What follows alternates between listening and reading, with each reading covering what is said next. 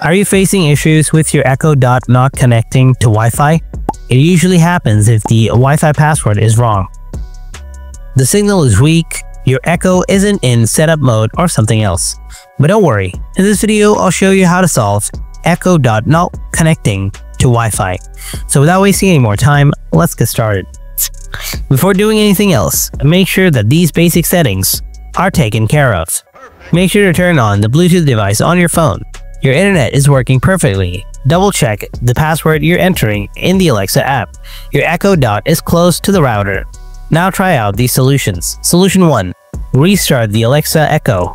Unplug the power adapter from the Echo Dot for about 10 to 15 seconds, and then plug it back in. After that, open the Alexa app. Tap the bulb icon, select your device, tap settings, tap Wi-Fi network, check the network health. If this says rich, strong, or healthy, then that means you have no issues with Wi-Fi. However, if this says poor, that means you have issues with your internet. So you can restart your Wi-Fi to solve that problem. Solution 2. Forget and change Wi-Fi. Open the Alexa app, then tap on devices. It looks like a light icon below. Now tap on the device name. After that, tap on the settings icon from the top right corner. Then tap on the change or remove a Wi-Fi network. Here you will see your Wi-Fi name under previously connected. Tap on your Wi-Fi name and then tap on forget this network. Tap again on forget. Next, tap join another Wi-Fi network.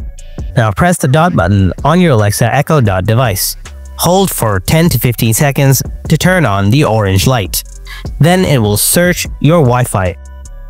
Wait for a while. Here you can change to another Wi-Fi network, or you can reconnect the previous one. Now tap on the network you want to connect to. After connecting to Wi-Fi, tap continue and follow the prompts. Now see whether your issue is solved or not. Hope your issue is solved. If you found this video helpful, then don't forget to hit that like button and if you have any kind of questions, then ask me in the comment section below. Thanks for watching and I'll see you in the next video. Until then, stay tuned.